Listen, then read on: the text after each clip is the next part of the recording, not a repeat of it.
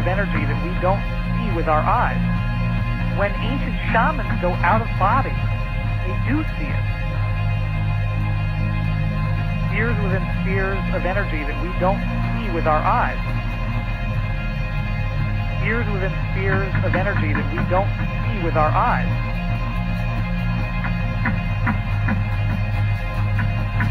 Spheres within spheres of energy that we don't see with our eyes. When ancient shamans go out of body, they do see it. The worldwide myth. Scandinavians called it the Yggdrasil, but most of them call it the world tree, and it goes through the Maya and every culture you could ever imagine. Everybody, when they go out of body, sees the same thing. They see the plane of the planets in the solar system as flat, as though that is the plane of human existence.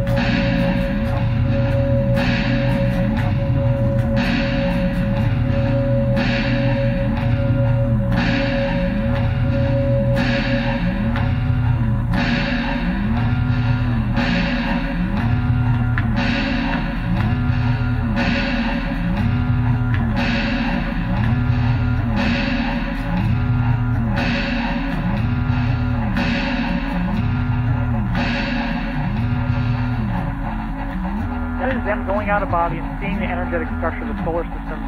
It operates under very precise mathematical laws. Our movement into this higher level of energy is very mathematically precise, and therefore, what we are doing is going through a scripted, regularized process of universal soul evolution.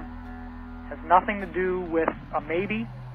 It has nothing to do with, I wish this doesn't happen, therefore I'm going to create a reality where it doesn't.